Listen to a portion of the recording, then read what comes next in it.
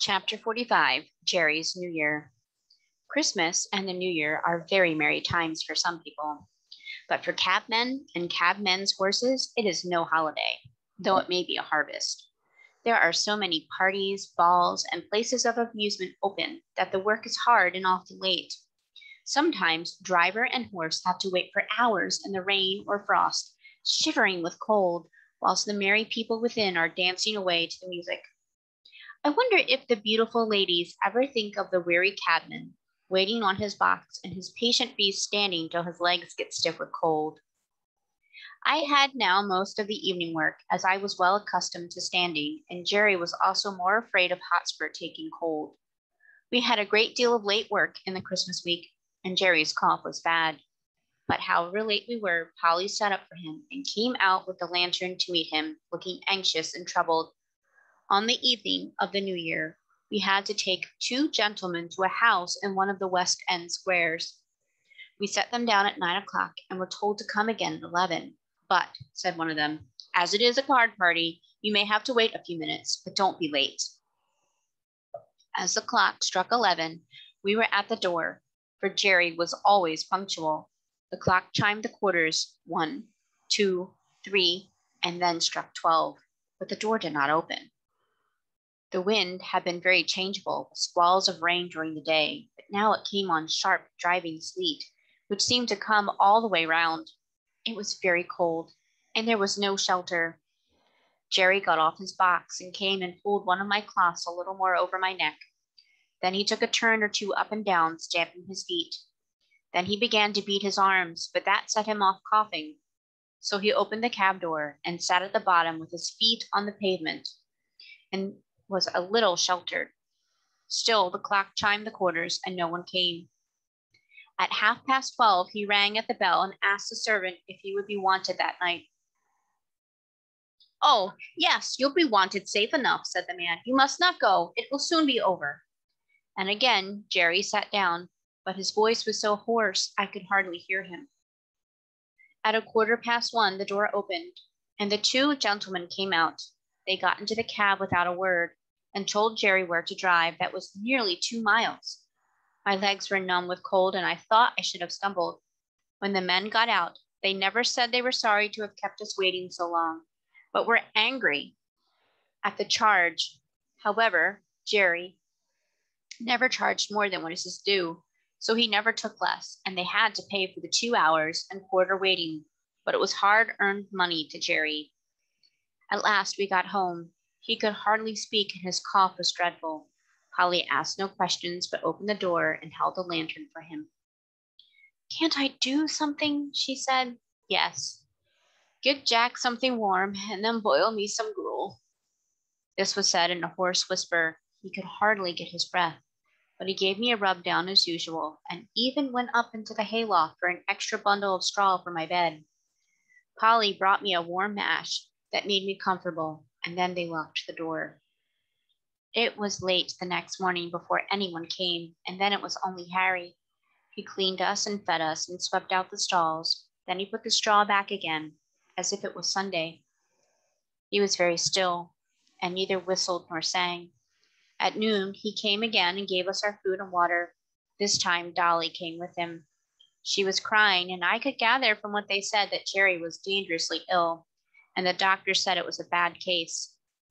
So two days passed, and there was great trouble indoors. We only saw Harry and sometimes Dolly. I think she came for company, for Polly was always with Jerry, and he had to be kept very quiet. On the third day, whilst Harry was in the stable, a tap came at the door, and Governor Grant came in. I wouldn't go to the house, my boy, he said, but I want to know how your father is. He's very bad, said Harry. He can't be much worse. They call it bronchitis. The doctor thinks it will turn one way or another tonight. That's bad, very bad, said Grant, shaking his head. I know two men who died of that last week. It takes them off in no time, but whilst there's life, there's hope. So you must keep up your spirits. Yes, said Harry quickly. And the doctor said that Father had a better chance than most men because he didn't drink.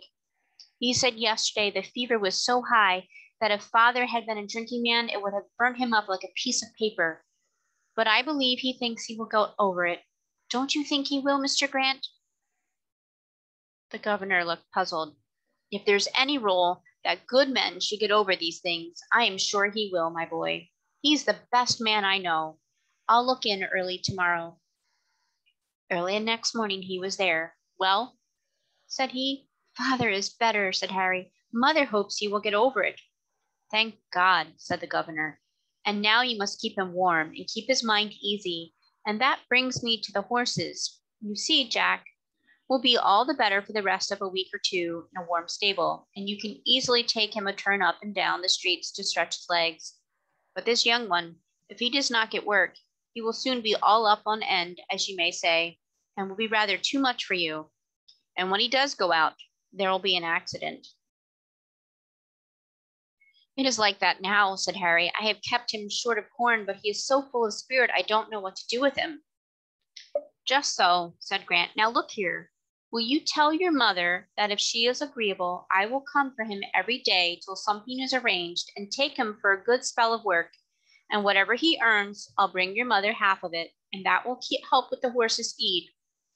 Your father is in a good club, I know, but that won't keep the horses, and they'll be eating their heads off all the time. I'll come at noon and hear what she says. And without waiting for Harry's thanks, he was gone. At noon, I think he went and saw Polly, for he and Harry came to the stable together, harnessed Hotspur, and took him out. For a week or more he came for Hotspur, and when Harry thanked him or said anything about his kindness, he laughed it off, saying it was all good luck for him, for his horses were wanting a little rest, which they would not otherwise have had. Jerry grew better steadily, but the doctor said that he must never go back to the cab work again if he wished to be an old man. The children had many consultations together about what father and mother would do and how they could help to earn money. One afternoon, Hotspur was brought in very wet and dirty. The streets are nothing but slush, said the governor. It will give you a good warming, my boy, to get him clean and dry. All right, governor, said Harry. I shall not leave him till he is. You know I have been trained by my father. I wish all the boys had been trained like you, said the governor.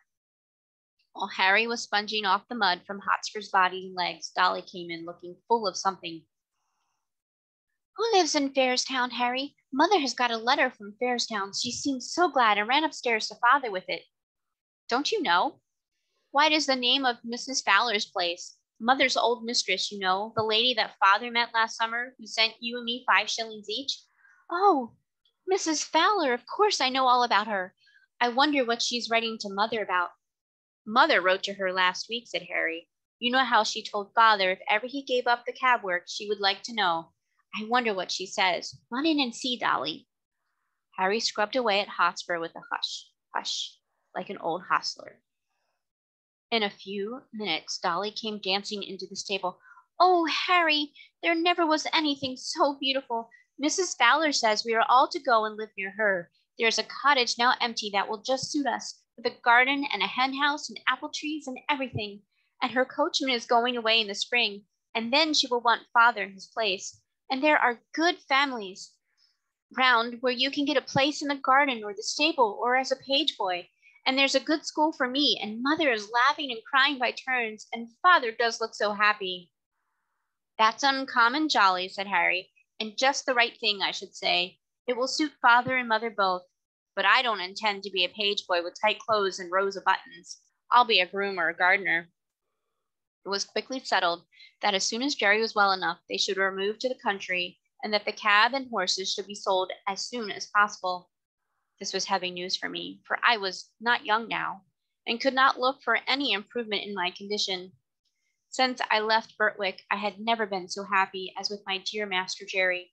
But three years of cab work, even under the best conditions, will tell on one's strength, and I felt that I was not the horse that I had been. Grant said at once that he would take Hotspur, and there were men on the stand who would have bought me, but Jerry said I should not go to cab work again with just anybody, and the governor promised to find a place for me where I should be comfortable. The day came for going away. Jerry had not been allowed to go out yet, and I never saw him after that New Year's Eve. Polly and the children came to bid me goodbye. Poor old Jack, Dear old Jack, I wish we could take you with us, she said. And then laying her hand on my mane, she put her face close to my neck and kissed me. Dolly was crying and kissed me too. Harry stroked me a great deal but said nothing, only he seemed very sad. And so I was led away to my new place.